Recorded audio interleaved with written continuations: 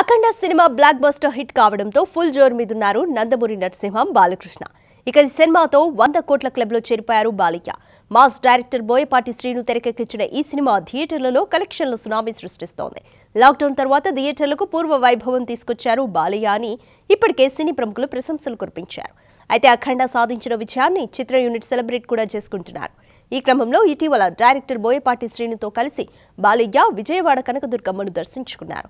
ఆ తర్వాత మీడియాతో ముచ్చటించిన బాలయ్య మంచి సినిమాలను ప్రేక్షకులు ఎప్పుడూ ఆదరిస్తారని ఈ విషయం మరోసారి అఖండ సినిమాతో ప్రూవ్ అయిందని అన్నారు. అంతేకాకుండా మంచి స్టోరీ దొరికితే మల్టీస్టారర్ సినిమా చేయడానికి కూడా తాను రెడీగా ఉన్నానంటూ చెప్పుకొచ్చారు. దీంతో బాలకృష్ణ చేయబోయే మల్టీస్టారర్ సినిమాలో తదుపరి హీరో ఎవరనే విషయంపై చర్చ జరుగుతోంది.